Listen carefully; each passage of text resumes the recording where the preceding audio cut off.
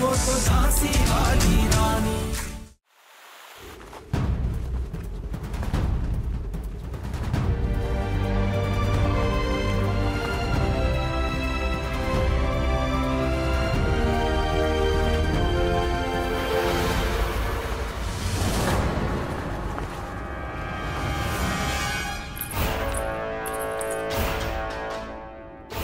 अरे ये पत्र कहाँ चला गया?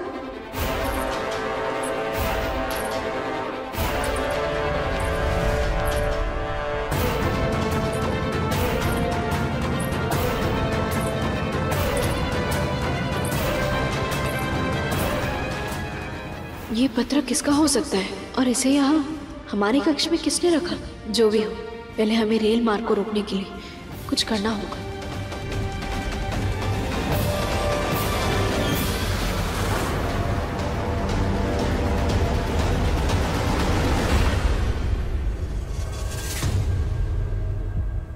इतने सारे खतरे मोड़ लिए गौस खान जी से मिलने के लिए।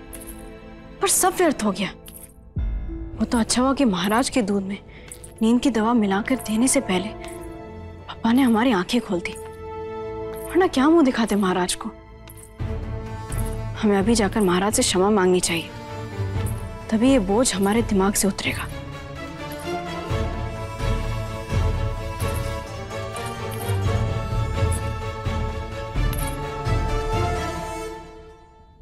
ये रानी लक्ष्मीबाई अपना सामान बांधकर अभी तक निकली नहीं यहाँ से? उन्हें तो अब तक महल से निकल जाना चाहिए था। सब कुछ तो वैसे का वैसा है।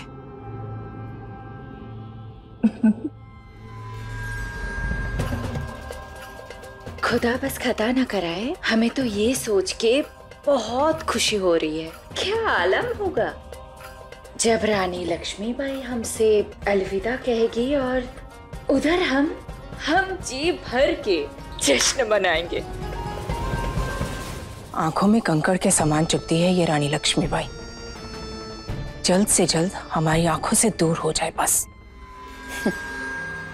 वैसे गई कहाँ है? आपने कहीं देखा क्या उन्हें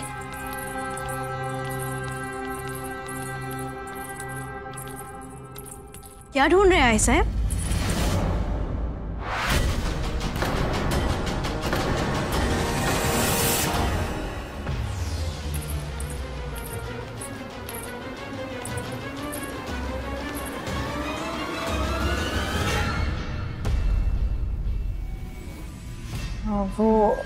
हम लच्छुबाई साहब। बताइए उन्हें हम यहाँ क्या ढूँढने आए थे? हम?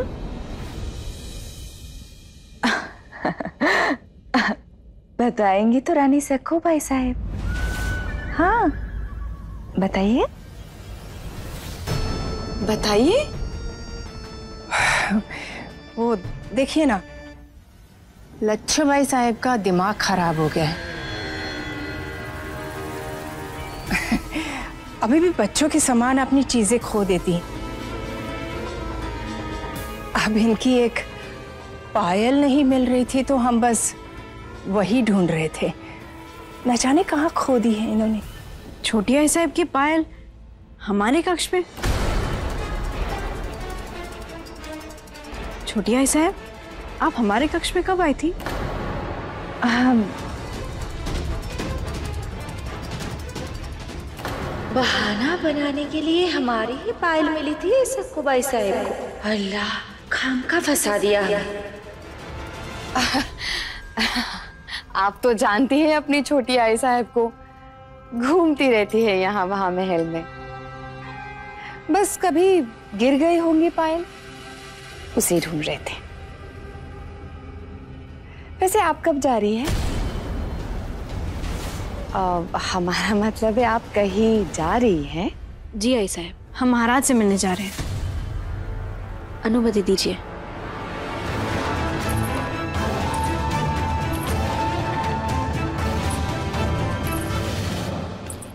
न जाने किस मिट्टी की बनी है ये रानी लक्ष्मी लक्ष्मीबाई महाराज ने अपने पत्र में साफ़ साफ़ इन्हें महल से जाने के लिए लिख दिया था। फिर भी पता नहीं क्या बात करनी है इन्हें महाराज से। खुदा बस खता ना कराए। हम तो ये सोचे जा रहे हैं, कितनी बेगैरत है ये महारानी। इतना सब कुछ होने के बाद भी चेहरे पर एक शिकन तक नहीं है। छोटे घर के लोग होती हैं ऐसे। आत्मसम्मान नाम की चीज़ होती ही नहीं इनमें। चलिए अब यहाँ खड़े रहने से कोई लाभ नहीं होने वाला। चलकर देखते हैं क्या महाराज को पट्टी पढ़ा रही है ये।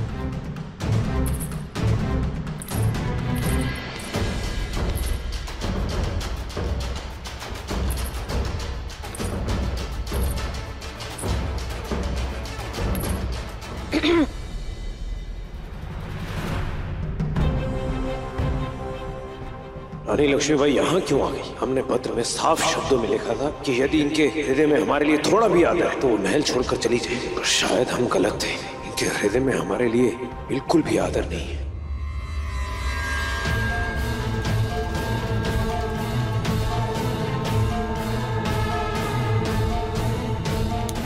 हमसे गलती हो गई महाराज। पत्र पढ़ते ही क्षमा मांगने आ गई।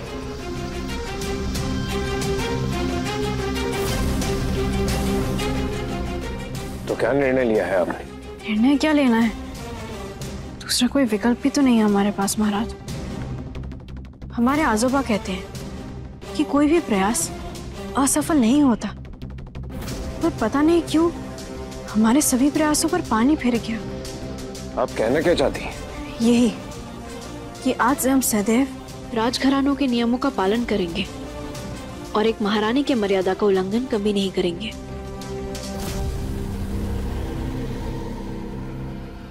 हमने इन्हें महल छोड़कर जाने के लिए कहा और ये स्वयं को सुधारने की बात कर रही है। महाराज, आपको नहीं लगता कि हमें एक दूसरा अवसर मिलना चाहिए? गौस खान जी ने हमारी सहायता करने से मना कर दिया तो क्या? बस हमें एक और अवसर की आवश्यकता है, अपने देश को फिरंगियों के इस विनाशकारी रेल मार्ग से बचाने के लिए। और इस समय हमारी भावनाओं को समझने में आप असमर्थ हैं, महाराज, जिसके कारण हमें ये सब आपसे छुपाना पड़ रहा है। थोड़ा ही सही पर इस वैवाहिक रिश्ते का महत्व तो है रानी लक्ष्मीबाई के हृदय में। तभी यहाँ से जाना नहीं चाहती। और अपनी भूल को सुधारने के लिए हमसे एक और अवसर मांग रही है। या अल्लाह ये तो एक और मौका मांग रही है। चुप रहिए। ध्यान से सुनने दीजिए महाराज क्या निर्णय लेते हैं। आपको गलतियाँ दोहराने की आदत है। और अगर कोई एक ही भूल को बार बार दोहराता है तो उसे भूल नहीं। अपराध कहते हैं। पर महाराज, अगर सुबह का भूला शाम को लौट आए तो इसे भूला नहीं कहते। हमें अपनी गलतियों का एहसास है। बस, इस बार मौका दे दीजिए। हम आपको निराश नहीं करेंगे, क्योंकि ये अवसर हमारे, और हमारी पूरी झांसे के लिए बहुत महत्वपूर्ण है, और हम ये भली बात ही जानते हैं।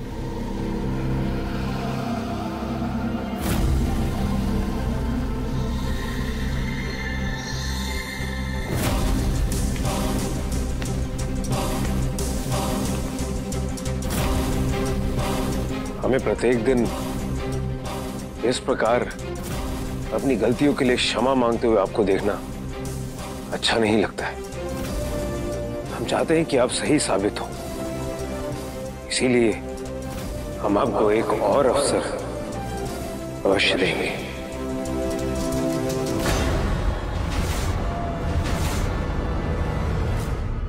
पर हम ये भी चाहते हैं कि आप इस अवसर का पूरा लाभ उठाएँ और स्वयं को सफल साबित करें।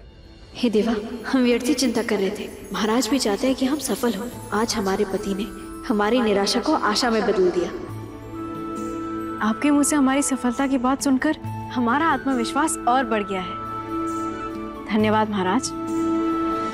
फिर से सुना।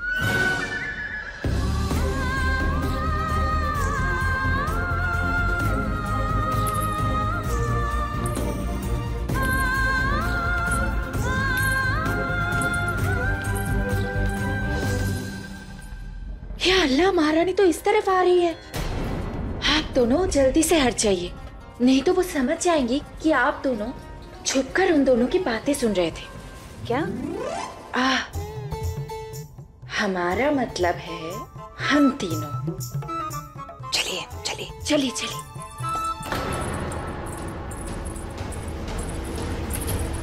आई साहब?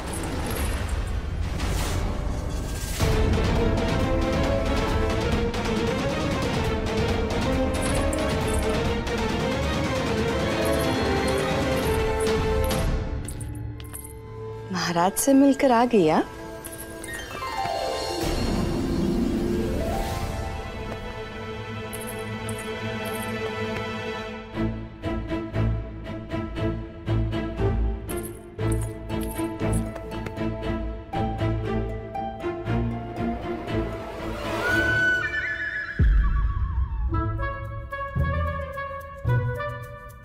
आप तीनों हमारे लिए देवा के आशीर्वाद के समान बिल्कुल शुभ है।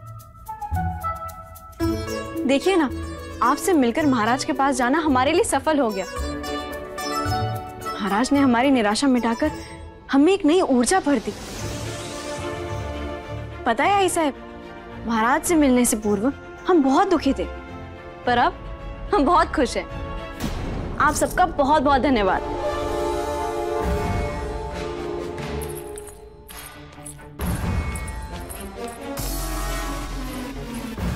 खुदा बस खता ना कराए।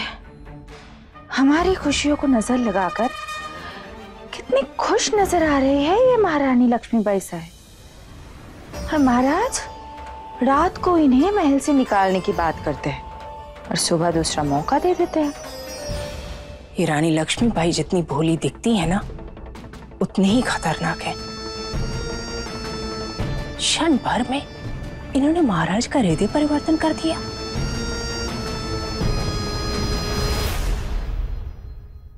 सारा बारूद अंग्रेज़ों के हाथ लग गया। क्या अब इस रेल मार्ग को रोक पाना संभव हो पाएगा? हाँ।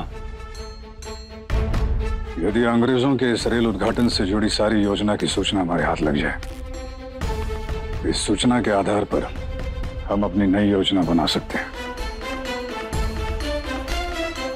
फिर तो हमें एक ऐसे व्यक्ति की आवश्यकता है जो अंग्रेज़ी कमिश्नरी में गुप्तचर बन करे और समय समय पर रेल मार्ग से जुड़ी हर बात की सूचना दे। दुर्भाग्यवश, मैं चाहकर भी यह कार्य नहीं कर सकता, क्योंकि अंग्रेज़ हाथ धोकर मेरे पीछे पड़े हैं। न जाने कब मुझे पहचान ले। पहचानते तो मुझे भी हैं, शिवा। महारानी के पिता के रूप में। इसलिए मेरा भी कमिश्नरी जाना उचित नहीं है। बिठूर में हमारे पास कई क्रांतिकारी भाई हैं, और यहाँ केवल तुम हो, शिवा। भीमा का भी वापस आना संभव नहीं लग। रहा पर मेरा जाना तो संभव है।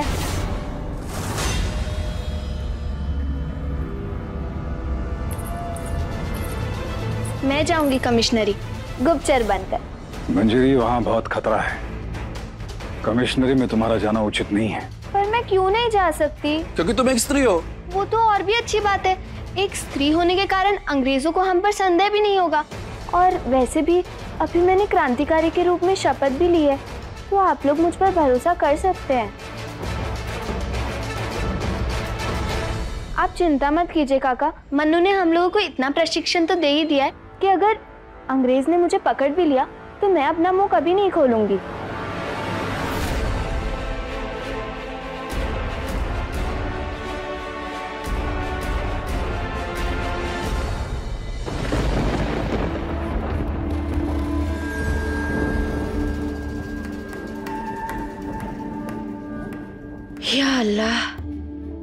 ऐसा लग रहा है कि जैसे चारों तरफ़ मातम छाया हुआ है।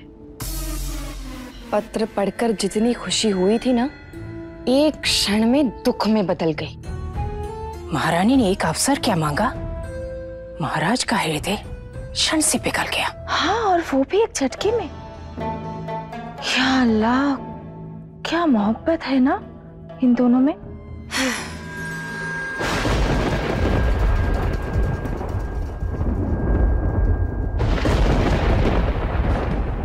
या अल्लाह, ये ऐसे मौसम में अचानक ये घनघोर बादल?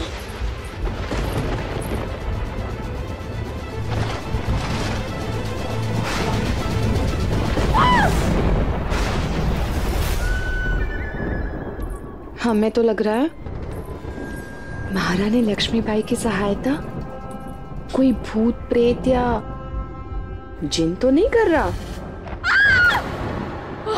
क्या हुआ? जी उसका क्या? खुदा के वास्ते जानकी भाई साहिब उनका नाम मत लीजिएगा। हाँ? आपको पता नहीं हमने बचपन से सुना है। उनका नाम लेते ही वो सामने आके हाजिर हो जाता है।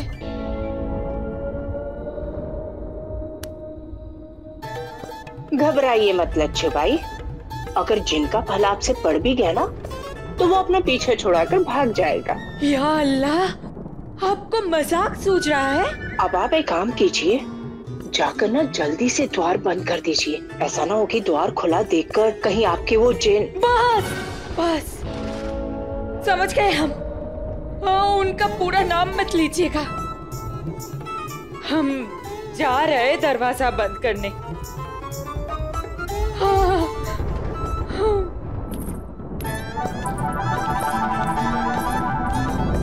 ठीक से जाइएगा। ध्यान से।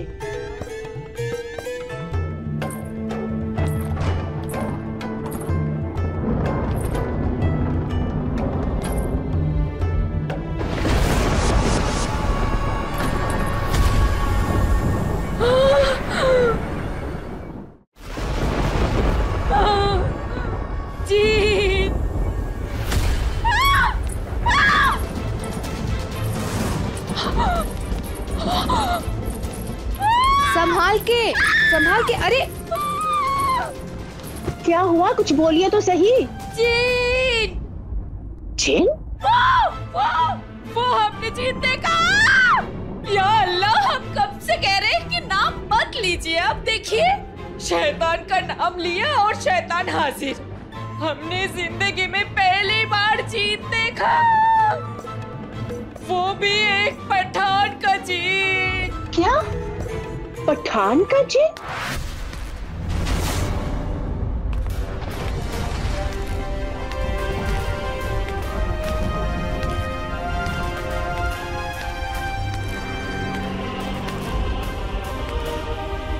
न जाने महारानी का कमरा किधर होगा।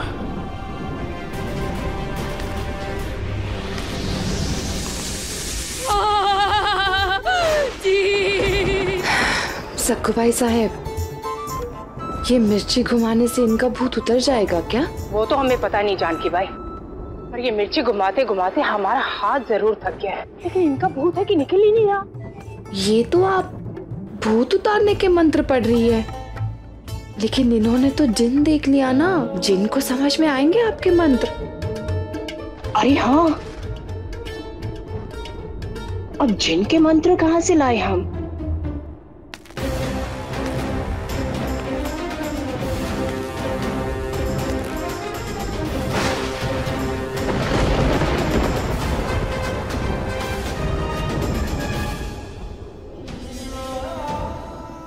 गौस खान।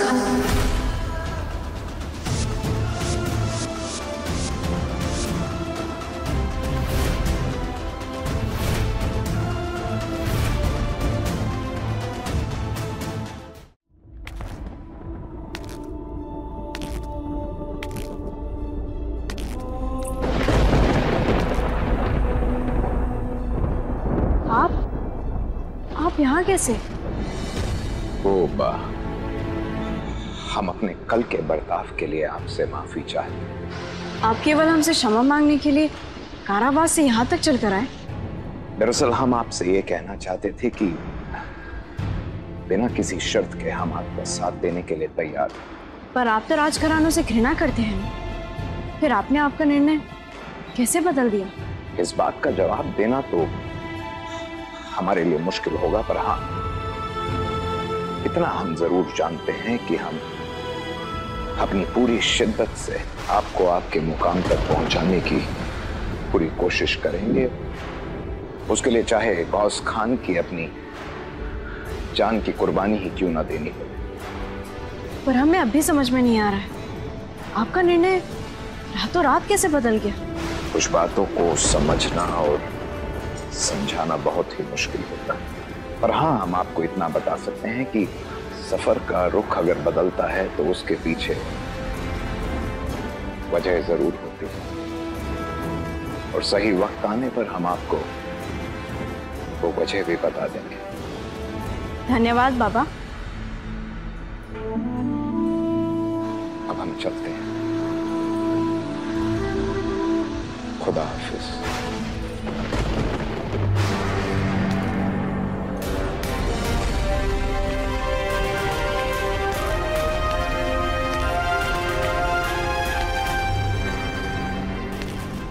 आज सुबह महाराज ने कहा था कि हमें दूसरा अवसर मिलना चाहिए।